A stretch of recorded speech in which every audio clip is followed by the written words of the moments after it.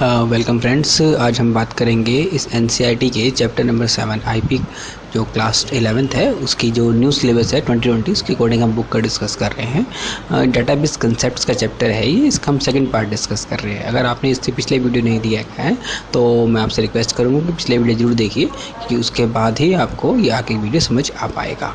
देखिए यार, इसमें जो नेक्स्ट टॉपिक हम बात करेंगे that is a relational database model relational database model के अंदर बेसिकली क्या डिफरेंस है? The different types of DBMS models already available है वो सारे मार्केट में and their classification is done based on underlying data model जो ऑलरेडी डाटा बेस मॉडल्स हमारे हैं, उसके ऊपर इनकी क्लासिफिकेशंस की गई हैं। लेकिन आज हम इसमें बात कर रहे हैं डाटा मॉडल्स के बारे में। Basically data models describe structure of the database उस डाटाबेस का क्या स्ट्रक्चर है, कितनी कॉलम्स हैं, कितनी रोज़ हैं एट्रीब्यूट्स का हैं, उन सब के बारे में बात हो रही है including how data are defined and represented data को कैसे उसके अंदर डिफाइन किया गया है और कैसे उसको रिप्रेजेंट किया गया है। रिलेशंस की क्या है उसके अंदर रिलेशनल डाटाबेस में हम बात करेंगे। कि इसका रिलेशनशिप क्या है, एक टेबल का दूसरे टेबल के साथ एंड कॉन्स्टेंट्स क्या है, किसके बेस पे किया जाएगा ये रूल्स जिसे हम कहते हैं, उन्हें कॉन्स्टेंट बोला जाता है। The most commonly use data model is relational database model ठीक है, इसको हम सबसे कॉमन डाटाबेस मानते हैं model other types of data model जैसे कि आपका ऑब्जेक्ट ओरिएंटेड डाटा मॉडल भी होता है एंटिटी रिलेशनशिप डाटा मॉडल जिसे हम ई आर डाटा मॉडल भी कहते हैं। Document model and hierarchical data model भी है। लेकिन हमारे जो चैप्टर है, जो हमारा बुक सिलेबस है, उसके अकॉर्डिंग हम सिर्फ़ डीबीएमएस के अंदर रिलेशनल डाटाबेस मैनेजमेंट सिस्टम की ही बात करेंगे। देखते हैं इसमें दी रिलेशनल डाटाबेस मॉडल में टेबल्स आर कार्ड रिलेशन जो टेबल्स होते हैं, उनको हम रिलेशन बोलते हैं। देखिए नाम आपको ध्यान रखना चाहिए फिगर में भी अच्छे तरीके से डिस्क्राइब किया गया है। देखिए यहाँ पर हम इस फिगर को एक बार पहले देख लेते हैं कि इस पूरे के पूरे जो टेबल का होता है, इसे हम रिलेशन बोलते हैं। ठीक है? And these are called the attributes एक नया नाम दिया गया है। इन कॉलम्स को हम एट्रीब्यूट कहते हैं, पूरी टेबल को हम रिलेशन कहते हैं, और जो एक पर्टिकुलर रो होती है, जैसे एक रो है, दूसरी, तीसरी, चौथी, ये सब रोज़ जो हैं, इन सबको हम टपल्स या रोज़ कहा जाता है। इसी पे आते दोबारा टॉपिक पे। Each table has the multiple columns where each column name should be unique सबका किसी भी टेबल के अंदर एक ही नाम से दो कॉलम नहीं हो सकते, सबका यूनिक नेम होना चाहिए ऑब्वियसली तो अंडरस्टूड है। For example each row in the table represent से रिलेटेड सेट ऑफ़ वैल्यूज़ कोई रिप्रेजेंट करेगा? जैसे हम फिगर सेवन पॉइंट फाइव की बात कर रहे हैं यहाँ पे। देखिए टेबल सेवन पॉइंट फाइव हमने ऊपर करी थी ये। आई थिंक हाँ यहाँ पे है वो सेवन सेवन पॉइंट फाइव जिसके अंदर गार्जियंस की टेबल बारे में डिस्क्राइब किया गया था, जिसमें गार्जियन की आईडी गार्जियन का नेम गार्जियन का फ़ोन नंबर और एड्रेसेस के बारे में बात हो रही थी। उसी टेबल के आगे नीचे ज़िक्र किया गया है ये। तो इसमें देखिए, यहाँ पे ये बात कर रहा है कि इस टेबल के अंदर रिप्रेजेंट किया था हमने एक पर्टिकुलर गार्जियन का data and has related values guardians ID और गार्जियंस का नेम एड्रेस उसका क्या है फ़ोन नंबर क्या है, ये सब चीज़ें हमने अलग अलग एट्रीब्यूट्स के साथ डिस्क्राइब किया था। A table contains consist of the collection of relation उसके अंदर बहुत सारे रिलेशनशिप होती हैं। उसी को हम आर डी बी एम का कंसेप्ट कहते हैं रिलेशन मॉडल में। इसमें रिलेशनशिप होना ज़रूरी है अलग अलग देखिए इसमें क्या होगा it is important to note here that the relation in a database are not independent tables. जब भी हम एक टेबल हम एक रिलेशन डाटाबेस के बारे में बात करते हैं तो उसमें जब हम एक टेबल को रिलेशन कहते हैं, वो इंडिपेंडेंट नहीं होता। मतलब स्टैंड अलोन टेबल नहीं होगी, वो किसी न किसी दूसरे टेबल के साथ रिलेटेड होगी। बट आर एसोसिएशन उसका ज़रूर होगा विद ईच अदर दूसरी टेबल का एसोसिएशन होगा। जैसे फॉर एग्ज़ाम्पल रिलेशन जब अटेंडेंस की ऊपर बात करी थी has the attribute roll number which links it with the corresponding student record in the student table में से करेगा। देखिए इसको फिगर के थ्रू बताया गया अच्छे तरीके से काफ़ी कि जैसे कि हमारा ये गार्जियन का टेबल है। इस गार्जियन के टेबल के अंदर जो गार्जियन आईडी है, वही गार्जियन आईडी आपने इसके अंदर यूज़ करी दैट इज़ स्टूडेंट टेबल के अंदर, जो रोल नंबर नेम और डेट ऑफ़ बर्थ है। साथ में गार्जियन आईडी भी इसके अंदर इसी से रिलेटेड किया गया है। और देखो, ये रिलेशनशिप बताने के लिए इस टाइप के सिम्बल्स का, ये एरोज़ का इस्तेमाल किया जाता है। ऐसे ही स्टूडेंट टेबल का और अटेंडेंस टेबल में क्या कॉमन है? दैट इज़ रोल नंबर ये रोल नंबर आपने इसमें भी लिया है और इसमें भी लिया है। तो ये दोनों का आपस में रिलेटेड हो गया। ठीक है? तो दीज एट्रीब्यूट्स आर रिलेटेड ये कॉलम्स आपस में रिलेटेड है। ये इससे रिलेटेड है और ये इससे रिलेटेड है। उसी की ये बात कर रहा है। Similarly geo I D is placed in the student table for extracting guardian records details of the particular student if linking attributes are not there in appropriate relation अगर नहीं होगा रिलेशन मतलब table it will not be possible to keep the database in correct state इस case में database आपका correct state में नहीं माना जाएगा। अगर एक में एट्रीब्यूट वो पर्टिकुलर मिस है तो क्योंकि रिलेशनशिप की बात हो रही है and retrieve valid information from the database हम नहीं कर पाएँगे। इसी फिगर को जैसे ऊपर अभी बताया गया था फिगर 7.3 में show the relationship tab database student attendance along with the three relations के बारे में बात हो रही थी। इसको हमने पहले एक फिगर में भी देखा था यहाँ पे। इस टेबल में। ठीक है, इस फिगर में भी हमने इस चीज़ को, इससे पिछली वीडियो में पूरा डिस्क्राइब कर चुके हैं डाटाबेस होता है अलग अलग टेबल्स होती है, इनका आपस में क्वेरी के थ्रू रिज़ल्ट लिया जाता है क्वेरी ये पास करता है, और फिर इस डाटाबेस में से निकल के क्वेरी का रिज़ल्ट आता है तो आगे देखिए, इसी टेबल के बारे में बताया हुआ इन्होंने relationship schemas schemes along with the description of the student attendance database देखिए, कैसे इसको डिस्क्राइब किया गया यहाँ पे? स्टूडेंट की जो पर्टिकुलर टेबल थी ये वाली, इसके अंदर रोल नंबर नेम और डेट ऑफ़ बर्थ और गार्जियन आईडी है। ठीक है, इसी तरीके से अटेंडेंस वाली टेबल के अंदर ये सब पर्टिकुलर फील्ड्स हैं जिसका ये डिस्क्राइब किया गया date on which the student ये हम पहले भी ज़िक्र कर चुके हैं, ये अंडरस्टूड भी है अटेंडेंस स्टेटस क्या प्रेजेंट है या एबसेंट है तो वो सब चीज़ें बताई गई है। ऐसे ही गार्जियन की डिटेल्स के अंदर गार्जियन आईडी है नेम है, उनका फ़ोन नंबर है और एड्रेस है। नेक्स्ट देखते हैं इसमें each tuple that means row tuple का मतलब रो ही होता है। इन द रिलेशनशिप रिलेशनशिप को इसमें टेबल कहते हैं। Corresponds to the data on a real world entity ये रियल वर्ल्ड एंटिटी से रिलेटेड होता है। For example the student guardian and attendance ये सब रियल वर्ल्ड एंटिटी है। एक्चुअल में ऐसा होता है। ये इमेजनरी थिंग्स नहीं है। In guardian relation each row represents the facts about the guardian के बारे में बताता है and each column name in the guardian table is use to interpret the meaning of data stored under that column इससे related करता है वो a database that is modelled on relational data model concept is called the relation database अगर ये इस model के concept को follow करता है तो उसको रिलेशनशिप डाटा कहते हैं रिलेशनल डाटाबेस कहा जाता है। यहाँ पर देखिए फिगर 7.4 में जैसे हमने ऊपर ज़िक्र किया था ये वाली फिगर 7.4 ये वाली टेबल आपकी ठीक है? इसमें हमने जब पूरा ज़िक्र कर चुके किस तरीके से आपस में रिलेटेड यही डाटा वही आगे बता रहा है। Guardian with some populative data के साथ रिलेशन रखता है वो। Us now understand the common used terminology in the relation database और द फिगर 7.4 में। देखिए, ये बताया गया है। इसमें देखिए, जैसे भी मैंने थोड़ी देर पहले आपको बताया था कि ये इन्हें हम एट्रीब्यूट्स बोला जाता है ऊपर रिलेशनशिप के। इस पूरी की पूरी टेबल को रिलेशन बोला जाता है। और हर एक रिकॉर्ड को एक टपल या रो बोला जाता है। इसमें देखिए कभी कभी एग्ज़ाम में पूछ लेते हैं कि डिग्री और कार्डिनलिटी क्या होता है। ये कंसेप्ट देखो यहाँ पर काफ़ी तरीके से बताया गया है।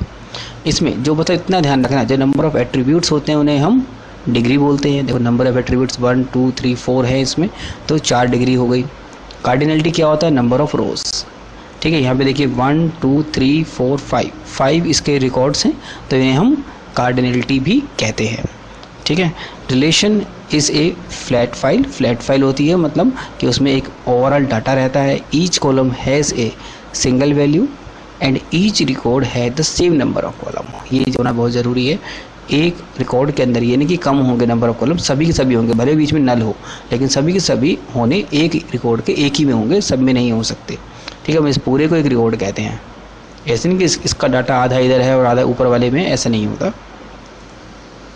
एट्रीब्यूट देखिए क्या होता है? कैरेक्टरिस्टिक्स और parameters of for which the data are to be stored in the relationship उसे हम एट्रीब्यूट कहते हैं। Simply stated that the columns of a relation columns को ही हम एट्रीब्यूट कहते हैं। जैसे ऊपर मैंने अभी आपको बताया था। यही मेन पॉइंट है। ठीक है? Attributes which are also refer to as fields for example G U I D ये सब आपका नेम हो गया जी का।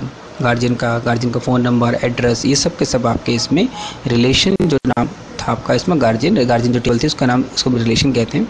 उसके अंदर ये सब के सब एट्रीब्यूट्स हैं। ऐसे देखो टपल्स टपल्स क्या है? बेसिकली इतना ध्यान रखना row of data each row को हम टपल कहते हैं in relationship is called tuple in a table with N columns अगर एन नंबर ऑफ़ कॉलम्स हैं a tuple is a relation between the N related values N related values इसमें रहेंगी हमेशा। Domain देखिए क्या होता है। It is the set of values from which an attribute can take a value in each row. ठीक है? Basically set of values हैं, जिसके थ्रू एक एट्रीब्यूट ले सकता है ईच रो के अंदर usually a data type basically data type ही होता है ये is use to specify the domain for the attribute मान लो सपोज़ आपका एक पर्टिकुलर एट्रीब्यूट है, इसमें स्टूडेंट का रोल नंबर उसके अंदर आप डाटा इंटीजर फॉर्म में ही लोगे तो डाटा टाइप हो गया, उसे हम डोमेन कहेंगे. For example in student relation the attribute roll number takes integer values and hence its domain is set of integer values ही रहेगा. कुछ और में आप ये तो नहीं करेक्टर्स ले सकते रोल नंबर में. Similarly this set of characters strings constants with the domain for the attribute S name के अंदर हम क्या लेंगे? तो नेम है तो उस करेक्टरिस्टिक में लेनी पड़ेगी। नेक्स्ट देखते हैं डिग्री जैसा ऊपर हमने ज़िक्र किया।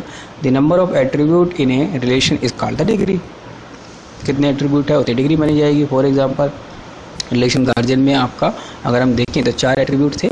चारों की तो ओवरऑल जो डिग्री होगी रिलेशन की वो चार मानी जाएगी।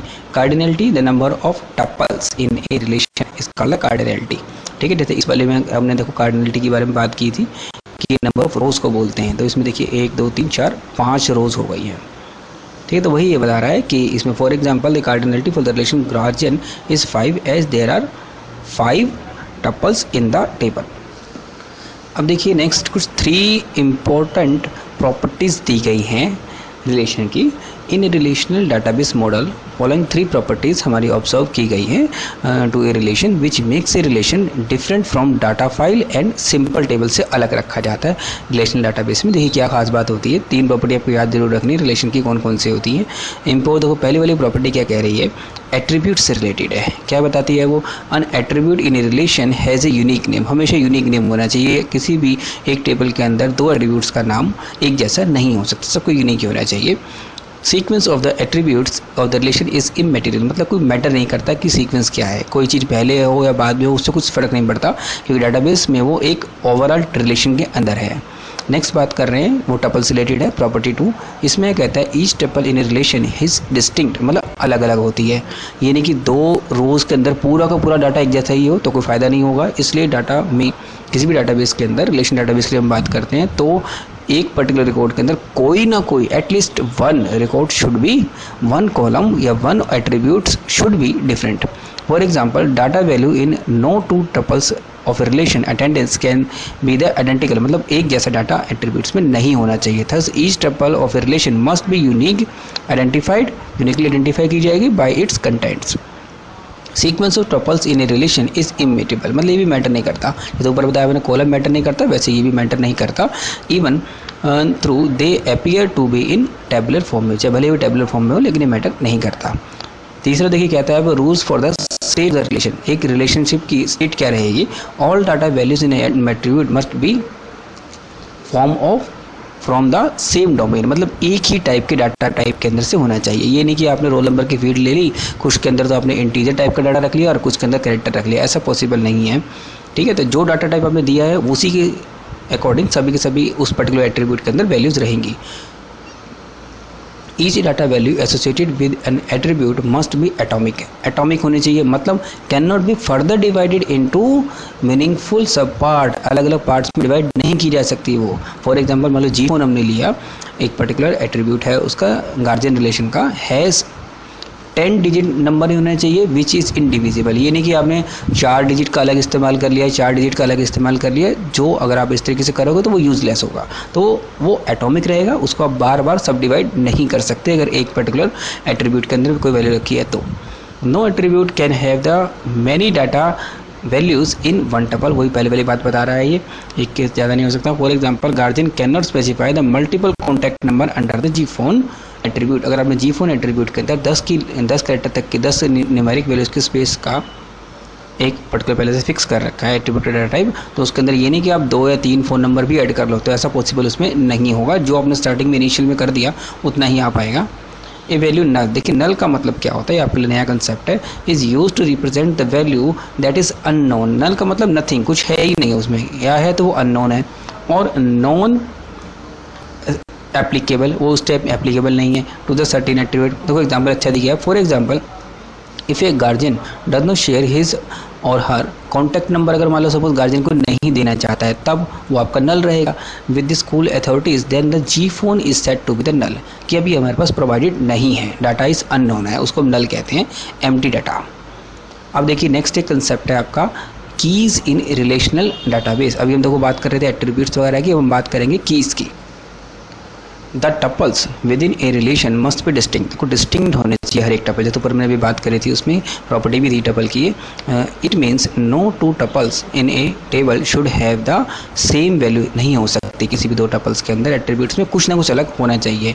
That is there should be at least one attribute in which the data distinct unit और एक एट्रीब्यूट ऐसा होना चाहिए जिसके थ्रू हम अलग अलग आइडेंटिफाई कर सके सबको, ठीक है? या फिर वो और ऐसा एट्रीब्यूट भी हो जिसके अंदर वो नल स्पेसिफाई नहीं किया सकते हमारे फॉर एग्ज़ाम्पल हम मान के चलते हैं कि रोल नंबर है स्टूडेंट का, उसके अंदर एक तो सबका रोल नंबर अलग अलग होना चाहिए, ठीक है? और फिर कोई भी फ़ील्ड आपकी, कोई भी रिलेशन उसके अंदर ऐसी फ़ील्ड रोल नंबर की नहीं हो सकती जिसके अंदर कोई वैल्यू ना हो। हर एक स्टूडेंट को रोल नंबर स्पेसिफाई करना तो मस्ट होगा। भले ही वो उसके आगे अपने गार्जियन का आईडी या गार्जियन का नंबर वगैरह ना दे, वो अलग चीज़ है। लेकिन उसके अंदर रोल नंबर देना ही पड़ेगा। दैट इज़ यूनिकली आइडेंटिफाई जिसकी रू कर सके। दैट में we can uniquely distinguish each tuple of the इसी के थ्रू हम उसको, हर एक टपल के रिलेशन को, के अंदर हम उसको डिस्टिंग अलग अलग कर सकते हैं कि अभी ये रोल नंबर का रिकॉर्ड ये है, इस रोल नंबर का रिकॉर्ड ये है। So relational database model impose ये इम्पोज करता है मतलब कि लगाता है some restrictions on constants on the values of the attribute के अंदर लगाएगा and how the contents of one relation be referred through other relation कि एक रिलेशन के अंदर किस तरीके से वो दूसरा रिलेशन पे रेफर कर पाएगा। These restrictions are specified at the time of defining the database ये रिस्ट्रिक्शंस आपकी स्पेसिफाई की जाएगी कब? जब डाटाबेस को बनाओगे through the different types of keys देखिए कौन कौन सी? मतलब सपोज़ हम बात करते हैं पहले कैंडिडेट की के बारे में। कैंडिडेट की क्या है? तो काफ़ी इंपॉर्टेंट क्वेश्चन एग्ज़ाम में आता है, कैंडिडेट की प्राइमरी की, ये सब आगे हम डिस्क्राइब करेंगे। A relation can have one or more पहले बात ध्यान रखना कैंडिडेट की एक से ज़्यादा हो सकती है। More attribute that takes distinct values जो ऐसी वैल्यूज़ मतलब ऐसे एट्रीब्यूट्स जो यूनिकली आइडेंटिफाई करने के लिए कैपेबल है, उन्हें हम कैंडिडेट की कहते हैं एक से ज़्यादा हो सकती है। ये चीज़ ध्यान रखनी है। Any of these attributes can be use as a uniquely identify इनमें से आप कोई भी एट्रीब्यूट यूनिकली आइडेंटिफाई करने के लिए यूज़ कर सकते हो थ्रू टपल्स ऑफ़ रिलेशन ठीक है, लेकिन कर ये होते एक से एक से ज़्यादा हो सकते हैं। कैंडिडेट की ध्यान रखना और वो उनकी कैपेबिलिटी होती है कि यूनिकली आइडेंटिफाई कर सकते हैं किसी भी टपल को रिलेशन के अंदर।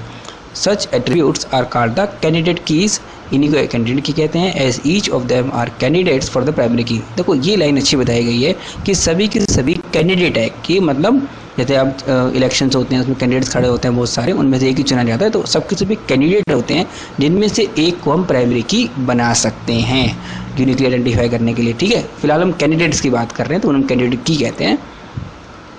जैसे कि फिगर सेवन पॉइंट फोर है आपके पास। ये देखिए, ऊपर दी हुई है। इसके अंदर देखिए गार्जियंस है आपका स्टूडेंट है और अटेंडेंस है, ठीक है? इसके अंदर अगर हम सोचें तो देखिए, यहाँ से आप आप गार्जियन आईडी को भी ले सकते हो, यहाँ से आप रोल नंबर को भी ले सकते हो, और यहाँ से भी आप रोल नंबर को ले सकते हो। तो इसी के बारे में बात कर रहा है ये। ठीक है? Guardians has the four attribute out of which only guardian ID and guardian का फ़ोन नंबर भी देखो यूनिकली आइडेंटिफाई करने के लिए कैपेबल है। फ़ोन नंबर भी आप ले सकते हो, सबका अलग अलग ही पाएगा। Always take unique value no two guardians will have the same phone number नहीं हो सकता। जब हमने गार्जियन की टेबल अलग बना दी तो किसी भी दो गार्जियंस का टेबल के अंदर एक जैसा फ़ोन नंबर नहीं हो सकता और ना ही गार्जियन आईडी कैसे हो सकती है। Hence these two attributes are the candidate key as they both are candidates for the primary key ये दोनों के दोनों ही कैंडिडेट की माने जाएँगे, जो यूनिकली आइडेंटिफाई करने के लिए कैपेबल हैं। तो इन्हीं में से कोई ना कोई चूज़ करके हम प्राइमरी की बना सकते हैं। जैसे ऊपर बात कही प्राइमरी की out of one or more candidate एक या एक से ज़्यादा कैंडिडेट हमने ऊपर चूज़ किए थे, उनमें से हम एक कोई उठा के प्राइमरी की बना देते हैं। The attribute chosen by the database designer जो डाटाबेस जिसने डिज़ाइन किया है, उसको जो सा एट्रीब्यूट ज़्यादा अच्छा लगा, उसको उसने चूज़ किया और यूनिकली आइडेंटिफाई के लिए उसको रिलेशन में यूज़ कर लिया। फिर इसी को हम प्राइमरी की कहते हैं। ठीक है? Out of the candidate key zone सी की हमने यूज़ कर ली यूनिकली आइडेंटिफाई करने के लिए, उसको हम प्राइमरी की कहते हैं। ठीक है? The the remaining attributes in the list of the candidate key are call the alternate keys देखो अल्टरनेट कीज के ऊपर कोई भी एग्ज़ाम में क्वेश्चन आ रहा था कि अब ऑल्टरनेट कीज कौन सी हुई? दो कैंडिडेट की तो हुई एक से ज़्यादा। उनमें से एक उठाकर तुमने बना दी प्राइमरी की जो बाकी बची हुई हैं these are called the alternate keys ऐसी कीज जो प्राइमरी की बन सकती हैं, लेकिन अभी हमने नहीं बनाई है। नेक्स्ट टाइम कभी मे भी बना सकते हैं। तो उन्हें हम अल्टरनेट कीज़ कहते हैं। कैंडिडेट की का वो पार्ट जो प्राइमरी की नहीं बना है। In the relation guardian suppose guardian ID को हमने चूज़ कर लिया प्राइमरी की के लिए तो जो आपका गार्जियन फ़ोन नंबर बचा, जो हमने कैंडिडेट की के अंदर लिया था गार्जियन का फ़ोन नंबर भी, ठीक है? तो जो बच गया, वो आपका अल्टरनेट की कहलाएगा, ठीक है? अब नेक्स्ट देखते हैं कंपोजिट प्राइमरी की कौन सी होती हैं? Basically if no single attribute of relation is able to uniquely distinguish the table tuples को मतलब टपल्स को कोई भी एक सिंगल एट्रीब्यूट हमारी टेबल में ऐसा है ही नहीं। यूनिकली आइडेंटिफाई करने के लिए कैपेबल हो। तब उस केस में हम क्या करेंगे? Then more than one attribute are taken together as a primary key जब एक से ज़्यादा एट्रीब्यूट को हम कंबाइन करके प्राइमरी की मानेंगे। इसी को हम तो such primary key consisting of more than one attribute is called the composite primary key इसी को कंपोजिट प्राइमरी की कहते हैं। इसमें एक से ज़्यादा कीज़ को शामिल किया जाता है। एग्ज़ाम्पल देखते हैं। इन रिलेशन मान लो सपोज़ अटेंडेंस की बात करते हैं। Roll number can not be use as a primary key क्यों? At the roll number of the same student will appear in another row for the different date देखो student तो school में रोज़ जा रहा है तो उस रोज़ इसकी अटेंडेंस लग रही है तो रोल नंबर से हम एक यूनिटली आइडेंटिफाई उसको अटेंडेंस की टेबल में नहीं कर पाएँगे, क्योंकि उसकी डेट हर हर रोज़ उसकी अटेंडेंस की एंट्री दोबारा की जाएगी उस रोल नंबर की। Similarly in relation attendance attendance date can not be use as a primary key attendance date को भी नहीं कर सकते, क्योंकि इसमें भी आपके रिपीट हो रहे हैं बार बार रोल नंबर However, कंबाइनिंग हम इन दोनों का यूज़ कर सकते हैं रोल नंबर और अटेंडेंस डेट का together would always have the unique value हमेशा यूनिक वैल्यू मिलेगी। एक पर्टिकुलर डेट पे एक पर्टिकुलर रोल नंबर तो वो यूनिक ही रहेगा हमेशा। इसलिए हम कह सकते हैं कि इसको हम रिलेशन को इस तरीके से बनाएँगे। कंपोजिट में रोल नंबर ले लिया हमने और अटेंडेंस डेट ले लिया इन दोनों को कंबाइन कर लिया तब आपका ये एक कंपोजिट प्राइमरी की बन जाएगा। अब नेक्स्ट कंसेप्ट देखते हैं फॉरन की का। Basically, a foreign key is used to represents the relationship between the two relation दो रिलेशन के बीच में रिलेशनशिप बनाने के लिए फॉरेन की का इस्तेमाल किया जाता है। फॉरन मतलब विदेशी की किसी दूसरे टेबल से जो हमने रेफर कर ली a foreign key is an attribute whose value is derived derived ली गई है बाहर से from the primary key of another relation दूसरे टेबल में वो प्राइमरी की थी। ठीक है, उसमें से आपने डिराइव करके दूसरे टेबल के अंदर जब उसको रेफर कर लेते हैं तो उसको फॉरन की कहते हैं। This means that any attribute of a relation जिसे हम रेफरेंसिंग करते हैं which is use to refer contents from another दूसरे रेफरेंस से लिया जाता है becomes foreign key if it is referred to the primary key of the reference table मतलब किसी दूसरी अगर टेबल से आपने उसको लिया है, वो देखो पहले लाइन काफ़ी अच्छी तरीके से सिंपल वे में बताया गया है इसको। वही चीज़ इन्होंने यहाँ बताई है।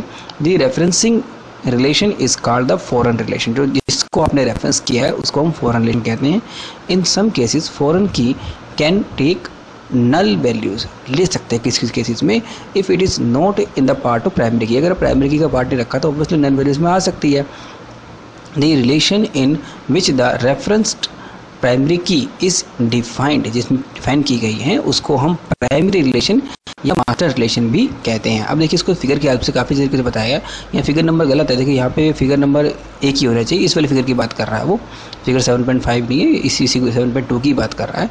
Two foreign keys in the student attendance database are shown using the schema diagram देखो schema diagram बनाया इन्होंने पूरा का पूरा where the foreign key is displayed at a directed arc देखिए foreign key को हमने displayed किया है directed arc के थ्रू यहाँ पे देखिए डायरेक्टेड आर्क कौन से देखते हैं ये देखिए ये वाली आपकी सपोज़ हम रोल नंबर की बात कर रहे हैं तो इट इज़ ए फॉरन की ठीक है क्लियर है ये चीज़ ये डायरेक्टेड आर्क के थ्रू बताया गया है ऑरिजिनेटेड फ्रॉम इट जिससे वो निकला है ending at the corresponding attribute of the primary key in the reference table यहाँ पे देखिए, ध्यान से देखिए इस चीज़ को।